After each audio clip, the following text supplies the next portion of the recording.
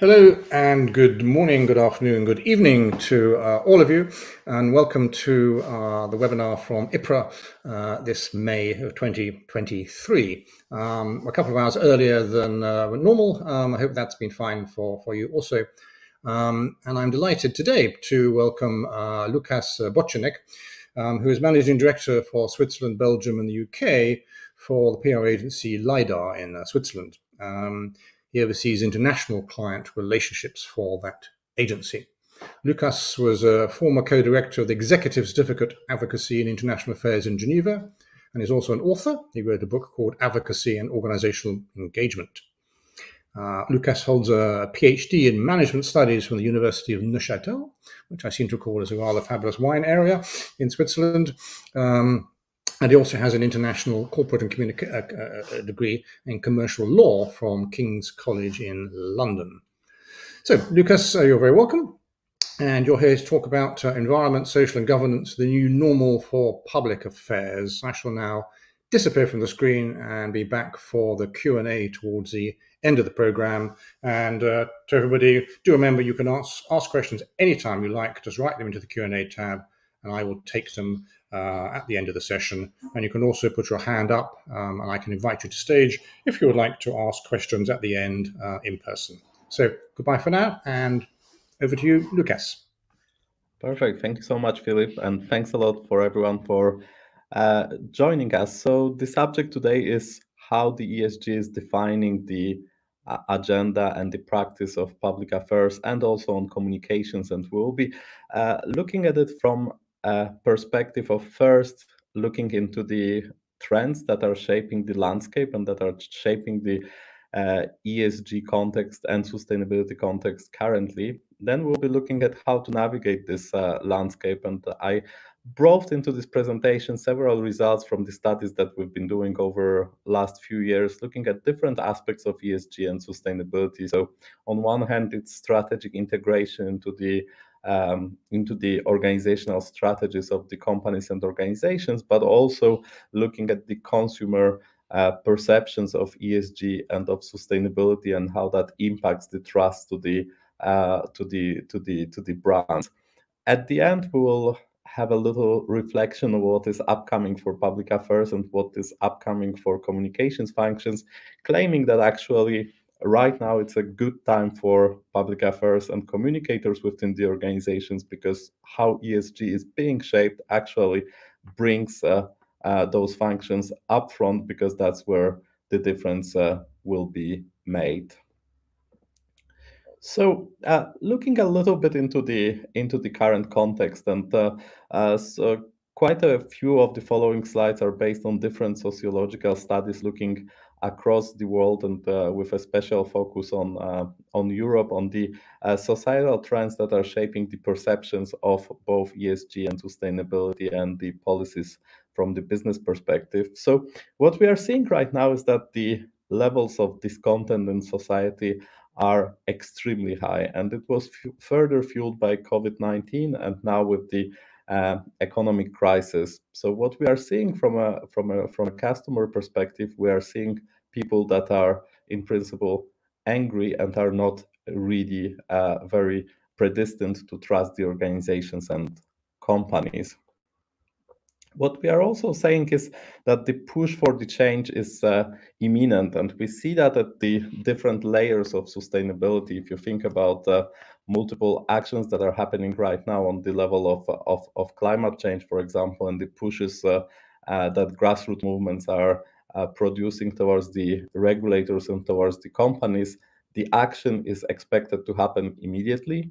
And this change needs to happen and be proven immediately as well. And that's changing quite a lot because, on one hand, we have this paradox of the long term ambitions of the companies and in the industries. Let's think about, for example, net zero pledges for 2050, in some cases, 2040, 2030. On the other hand, people are very impatient. So how to bridge that gap is really uh, where the public affairs and communication needs to come into the into play because the long-term ambitions need to be still communicated from a short-term perspective and being able to prove how the journey is actually happening and how the ESG is changing the uh, organizations uh, in a in a short term as well.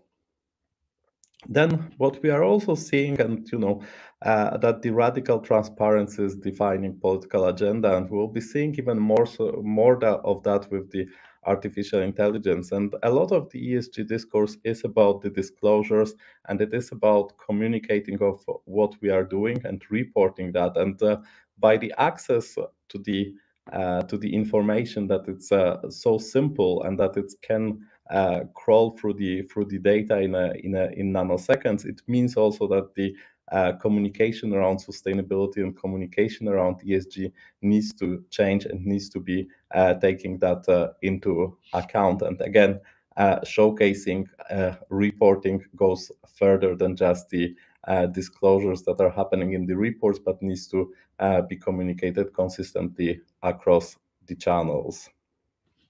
Then what we are also saying is that there is a lot of uh, change in the style and in the style of the organization. Some of the policies uh, remain in place. And again, that creates the expectation gap between the end customers and the organizations and bridging that gap and communication and public affairs play an important role in bridging that gap and bringing that alignment between the external expectations, perceptions, and what uh, the organizational strategy is uh, driving.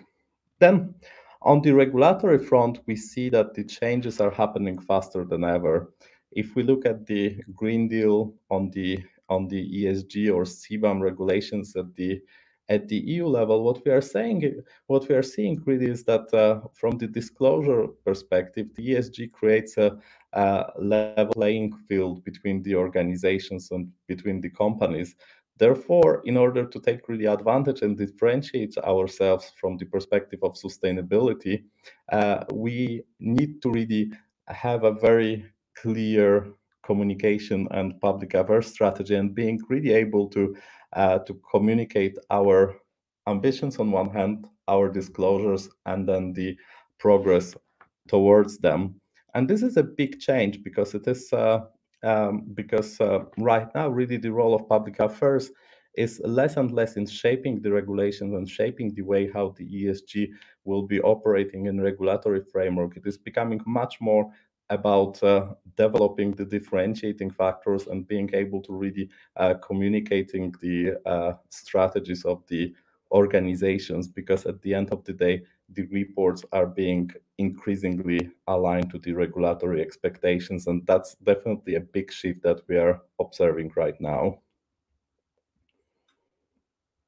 Then uh, what is also important is that uh, uh, to note is that there is no uh, gain that is uh, happening forever and discourse can always shift and this is really visible in the space of sustainability and ESG because uh, the regulatory landscape is evolving so fast and across the jurisdictions that it is important that really public affairs professionals stay on top of those developments and are able really to help the organizations to align themselves across the geographies and jurisdictions in order again to benefit from the aligned approach to the sustainability and ESG disclosures.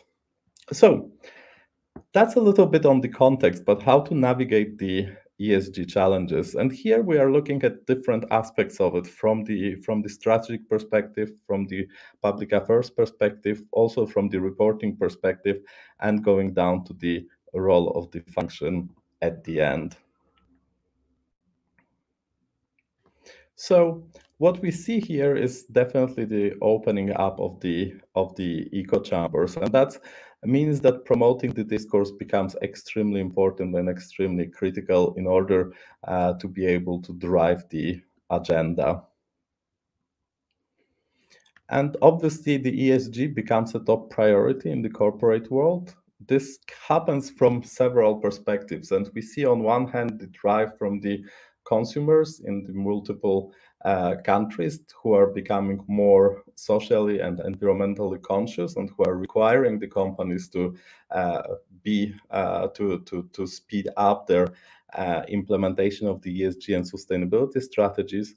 We see that push from the investor side. There are and there are quite a few studies that also prove that the uh, ESG conscious funds are performing better uh, than the classical ones. So it is a good business to invest in these sustainably conscious companies.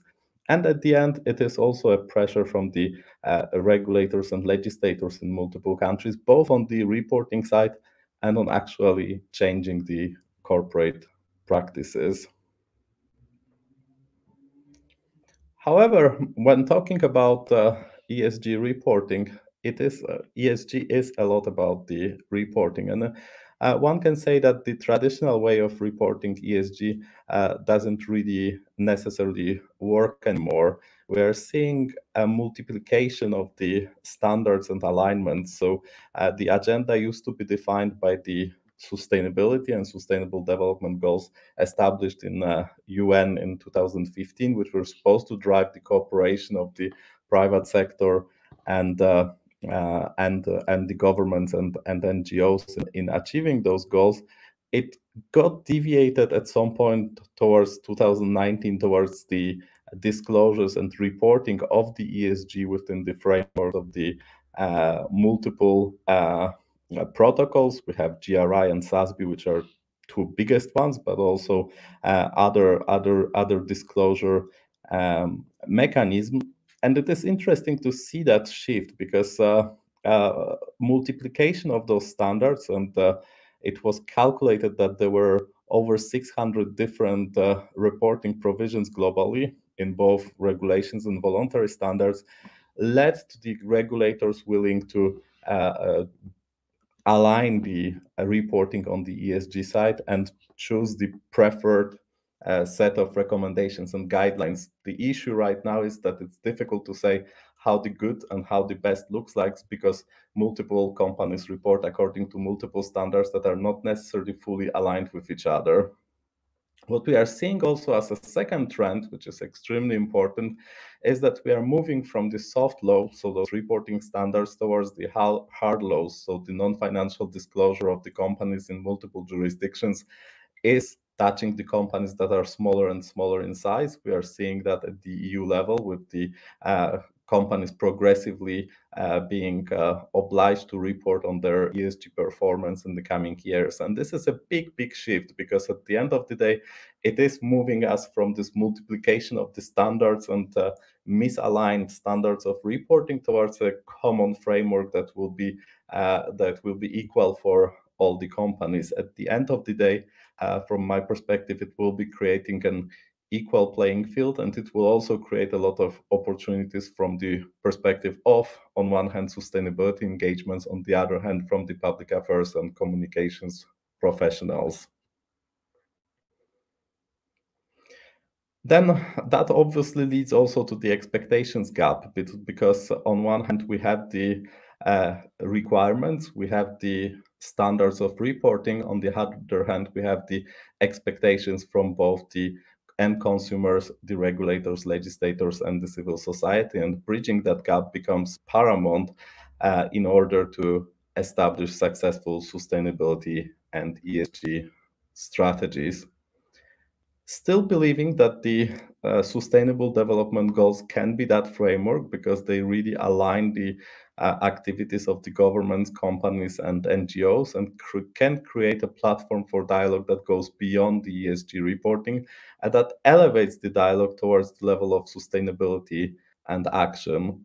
And I believe that that's a next step really in the ESG discourse and discussion. We moved from CSR towards sustainability, then we moved towards ESG reporting and being very heavy on the reporting and disclosures. And now, while reporting and disclosures become mandatory, next step will be all to get back really to sustainability and to the action and to the uh, creating of the common platforms between different actors. Again, it is, in my opinion, a great opportunity for the public affairs function to really be able to drive that agenda and uh, become a good partner within the organizations driving that strategy internally and externally. Then obviously those new reporting tools will be need to be used uh, uh, with care, and that will also lead to the uh, to the to the important changes in the discourse. And here in the next slides, uh, I will present you a couple of uh, results of the research that we've done uh, recently about some of the major discourse influencers when it comes to ESG. So when we look at the broader themes of the EU Green Deal, ESG and sustainable investing, carbon neutral, carbon negative, net zero sustainability, we see that uh, we have very much of the usual suspects who would be driving the discourse. So on one hand, we would be having the political bodies such as UN, uh, European Union.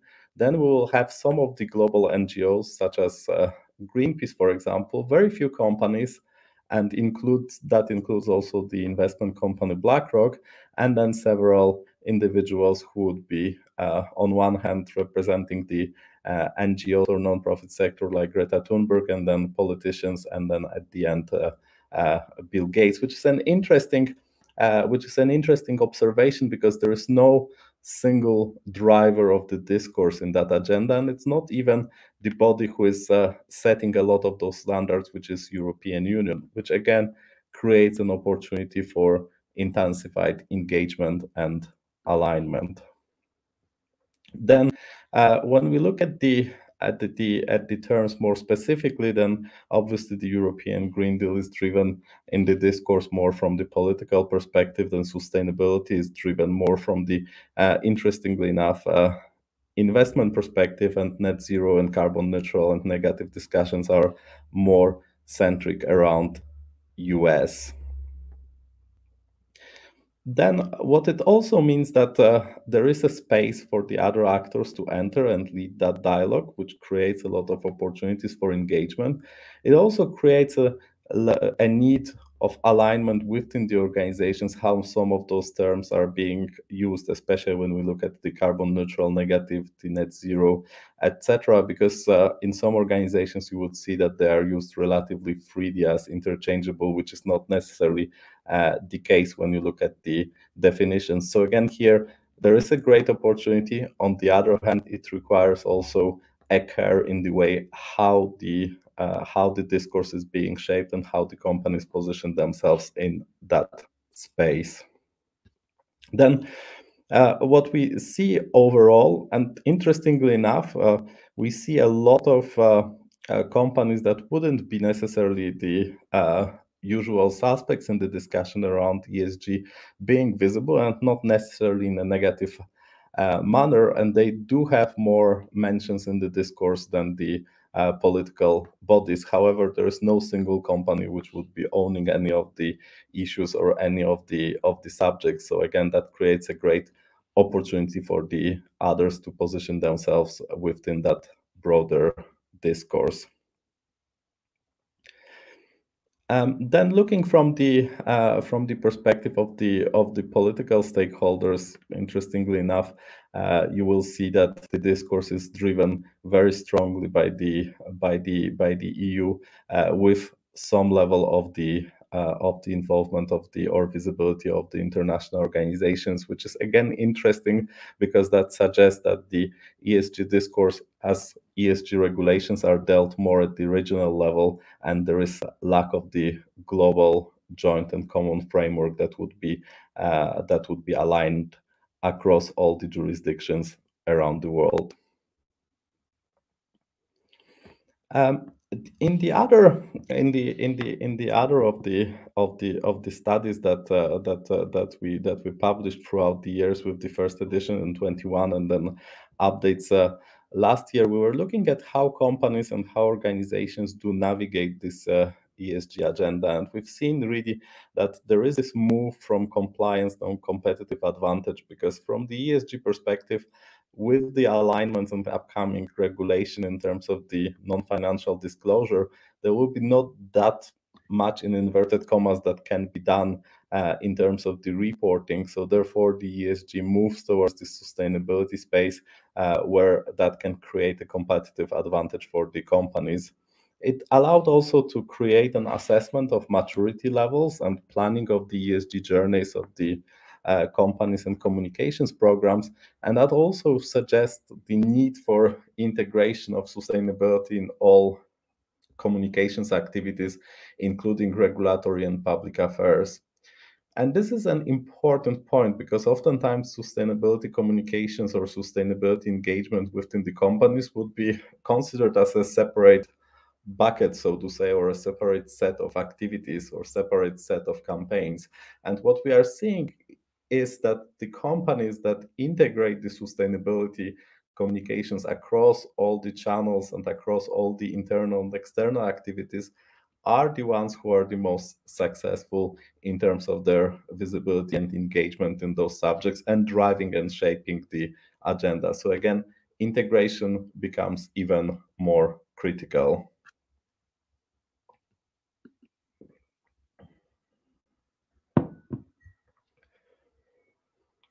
And uh, looking at the uh, at the uh, broad ESG agenda, uh, again, the, both the customers and the consumers do favor holistic approach to sustainability looking at the environmental social and governance side and when we are talking about esg oftentimes we tend to focus purely on the environmental uh, side of things and on the and more particularly on the climate change however the overall esg agenda has broader scope and broader remit within the organizations and externally. It includes also social and governance elements.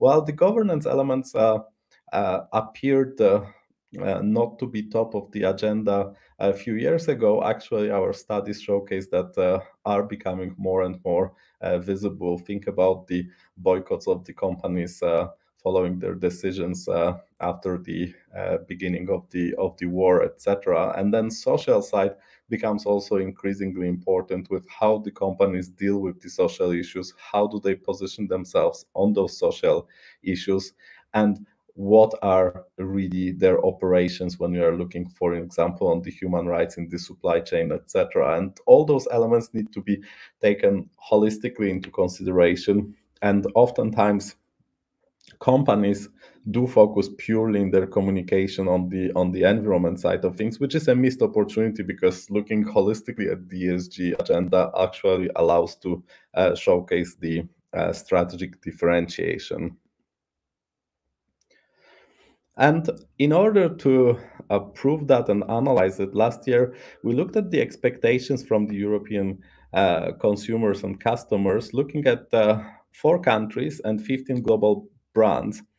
And the study was looking at correlating different uh, elements of the brand attributes based on the Brandr uh, index, which was developed by a uh, by a by a research company from from Iceland, which was looking at the different brand attributes and aligning the ones related to the respective elements of E, so environmental, social, and governance elements, and correlating them with the trust in the in the brands. And what we've seen actually is that the highest correlation between the trust of the towards the companies and the per perceived performance of these companies was at the governance level. So the companies that were perceived to uh, have strong governance structures also act uh, ethically and aligned with their local communities did score also very high at the at the trust level and the correlation between the trust was the highest when it comes to governance, following by social and uh,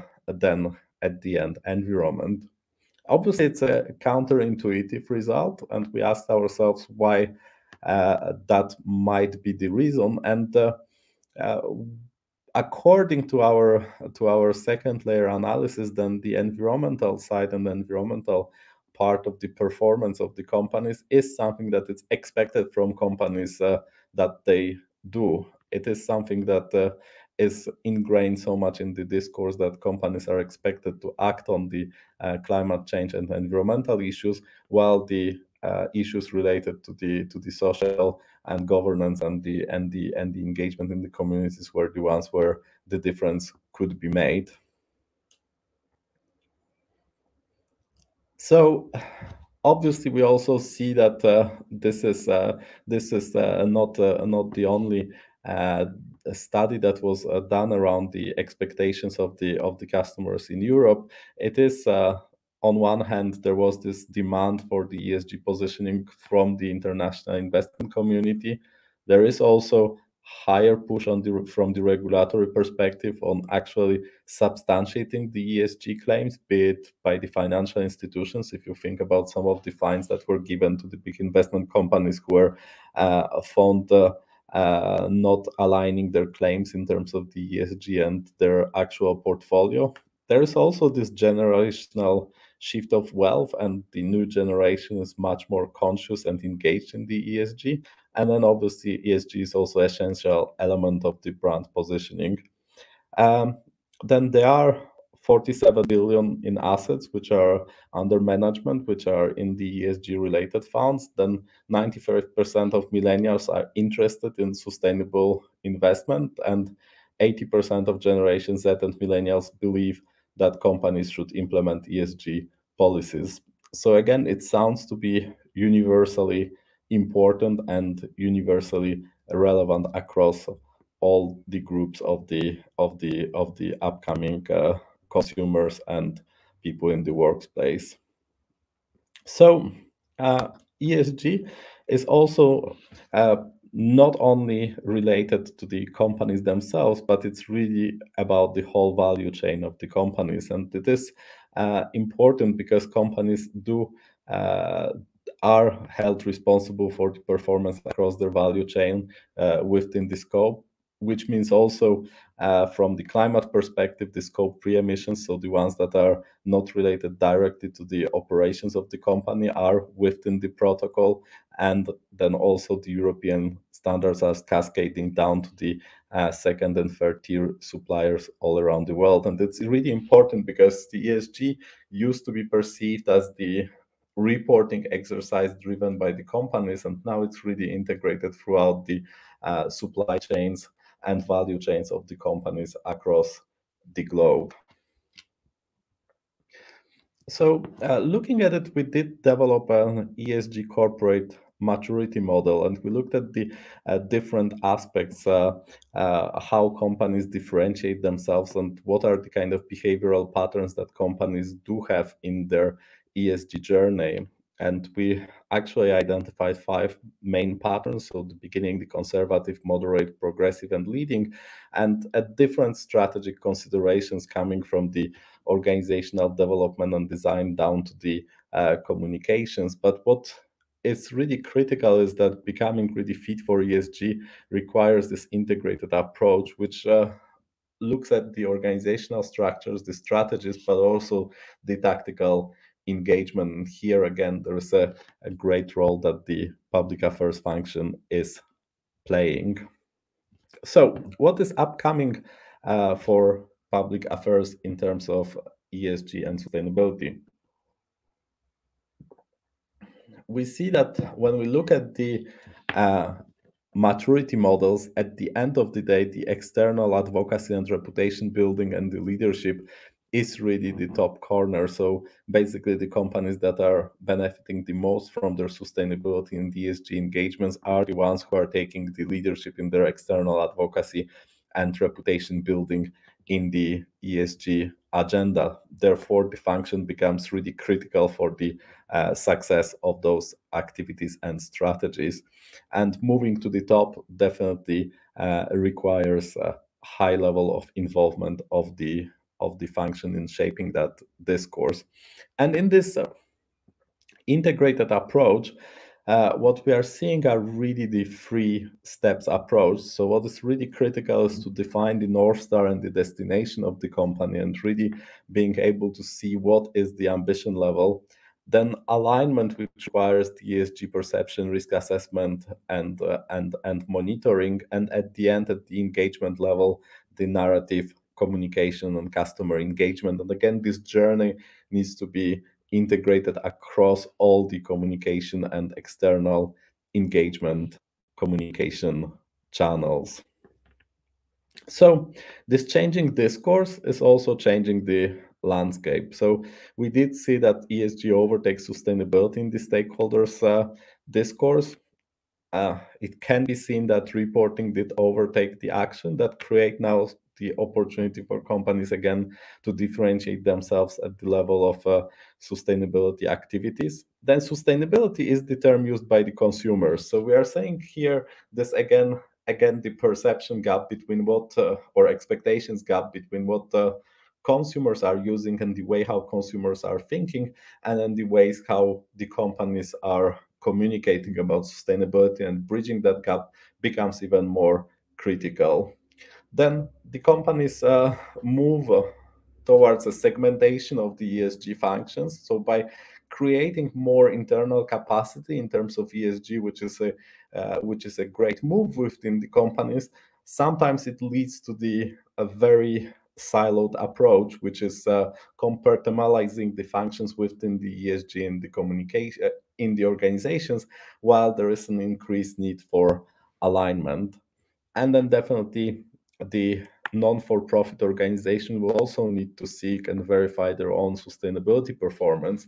Because oftentimes when we think about esg and sustainability we think purely about the companies but this a top aspect of concern also for non-profit organizations because they need to also be able to prove how their activities are uh, contributing to the uh, to the to the goals that are that are being set and also how from the operational perspective they Im implement the sustainability principles to their operations.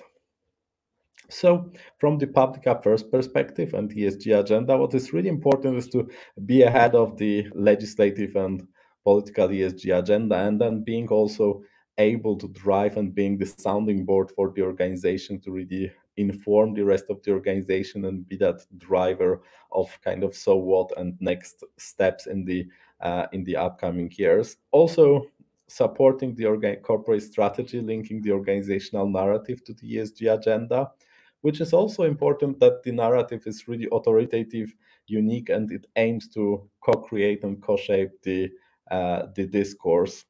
And default leadership obviously can bring uh, unique ESG knowledge of the organization. Finally, the storytelling allows to connect with the stakeholders and protect the license to operate. However, the ESG public affairs approach or communications approach shouldn't be limited to the storytelling because story uh, stories do support the narrative, but it has to be based on the strong thought leadership and the agenda.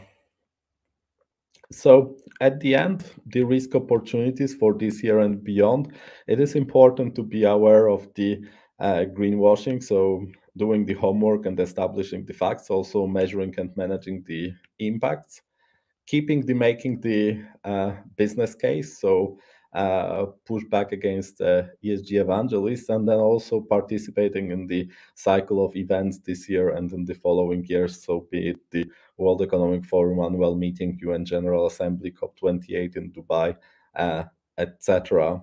So, to summarize, the upcoming regulatory changes, and as we said, we create a, a more equal level playing field in terms of the reporting. It is a great moment right now to restart and rethink the sustainability communications and engagement approaches and bring that alignment across the channels within the organizations and public affairs function and communication function together are very well positioned to be the drivers of that change. So that uh, concludes the presentation, and I will hand over to Philip to manage the Q&A session. Lovely, uh, Lucas. Thank you so much for that, uh, particularly with the, the, the detail you provided, which was which was excellent. Um, so we've got a few questions in the Q and A tab I can see. Let me perhaps start off with one of my uh, own to to begin with. Um, and I wonder if the three elements of ESG, environment, social, and governance, um, can be in conflict sometime, requiring choices. And I wonder how you advise on making those choices. Uh, this is a very good, it is a very good question. I, I wouldn't necessarily think that they are in conflict. There might be a matter of of priorities, and and obviously they are and that, that leads to the two layers of priorities so there are the priorities that are compliance driven so in many industries in terms of the e there are the set standards what industries are expected to uh, to deliver then there are, however you will see also that by creating for instance the market on the emissions side of things the regulators do create a part where the e is linked with the g in a way and that supports uh, the S at the end. I think the way of creating the choices and priorities is really about the, on one hand, analyzing the the industry, driving the uh, efficient materiality analysis from the perspective of the organization and then and then indeed prioritizing then you would say that the governance side is something that you would be expected as organization to have sorted in inverted commas. However g starts to include more and more choices that corporates are uh, are, are taking during the for instance during the times of war etc so um, it has to stay truthful to itself and then on the other hand link to the to the materiality analysis of the organization i would say Okay, thank you for that. Um, I have a question from Azur, who's in uh, Ghana, um, and it's a, it's a, question on priorities. I think you mentioned right at the beginning the uh, all of the uh, UN uh, Sustainable Development Goals, uh, and of course the the one of one of only one of those is the goal of climate change. Um, and he's wondering what uh, what is the role of, of the PR professional um, in, in, in in talking about climate change within the context of ESG, which encompasses perhaps some things that aren't as important. Well, I think the the SDG framework is an interesting one because it was an attempt to address different aspects of action that are needed to be done addressed at the at the global level and indeed the climate change was uh, was was one of them. Uh, definitely communication professionals can be the agents of change within the organization. I know it's uh, it's it's easy to say but from uh, from the perspective of uh, of of consumers and from the perspective of the link that communication and public affairs professionals are having with the external stakeholders they can really be the ones who are driving the organizations towards taking those choices and towards dry and driving on one hand the internal change on the other hand external engagement with the with the third parties and the and the consumers and this alignment then uh, really allows them to to to to be those important actors in this corporate context. Thank you for that. Um, you mentioned earlier um, one of the issues about common reporting standards, of course, being a great challenge. Um, something that I have some experience of from a, a previous job I did in Brussels. Uh, and I wondered, uh, do you know who, who are the main players in in advocating for common reporting standards and and perhaps even even creating those standards? Well, there have been several initiatives, and, uh, un, I guess unsurprisingly, the big four accounting companies came together. I believe in 2021 in uh-huh. the in the context of World Economic Forum with the need of our alignment of the uh, of the of the standards. So they were the ones who were who were pushing on that together with the group of the companies around World Economic Forum. So that was one kind of set. Then you would have the set around the organizations like Global Reporting Initiative, which is obviously uh, in their important interest to bring that alignment and uh, and and to drive it towards their own standard. And then you see on the regulatory front, from the perspective of upcoming EU regulation on non-financial disclosure, which will include the mandatory disclosures for companies operating at the EU market, and then progressively from the bigger to the to the smaller ones. That's uh, uh, another push. So I would say you have like this let's say soft law and standard setting bodies who will obviously advocate for for for their standards to become the standard then you would have the uh, business community with a special uh, focus from the from the from the accounting firms. And then you had this uh, uh, third bucket which is the regulatory landscape and and and eu and to a certain degree the the latter one will be uh, creating this uh, this mandatory field for everyone, and then the other disclosures will be uh, will be will be add, adds on to that. Good. Uh, so, one final question. Uh, you mentioned uh, watch out for greenwashing, um, and this this reminded me of an exercise that IPRA did this year, um, and launched in, in, in, in January, um, which was a set of communication uh, guidelines um, for climate change. Um, and in one of those, we basically said you should not do greenwashing. Um, uh, which is much, which I think is one of those things that's very easy to say and much perhaps less easy to, to do. Um, and I wondered uh, if you had any comment in terms of the, the, the, challenges of, of giving advice to clients about greenwashing and, and indeed finding it out in the first place. Well, and also the threshold of what is considered to be greenwash to be greenwashing is is lowering. So I would say that there are there are at, at least several layers to this question. So there is a layer of uh, of compliance in terms of the claims that are being made by the companies, and you would see uh, those recent fines in Netherlands and in in the UK towards the companies who are driving the marketing campaigns based on the sustainability messaging that was found by the uh, by the regulator uh, not aligned with their with their operations. So making sure that whatever is being communicated is aligned with the regulatory requirements. Then at the second level, that whatever is being uh, said by the company is backed with the data and either with the proofs. So for instance, if the company communicates about say reduction of emissions, then there should be a baseline and there should be a reduction that can be proved in terms of the numbers that are being calculated and being also at the third level a bit prudent with uh, very long-term sustainability ambitions communicated only as such. So if we are putting the horizon towards 2040 or 2050 we need to also ensure that we are able to communicate the plans and the progress that is being made towards those uh, those dates.